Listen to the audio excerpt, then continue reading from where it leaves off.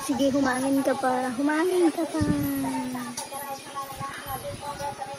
Humangin ka pa.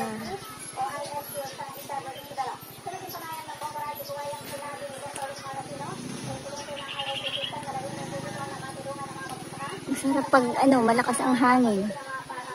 Sa dami ng mga puno pag mahangin, napaka-presko. Sige, hangin, humangin ka. O, di ba? Sarap pag humahangin, iba, iba yung ano yung lamig ng ano. Simoy niya yung presko niya talaga na galing sa mga puno. O, sige, hangin, humangin ka.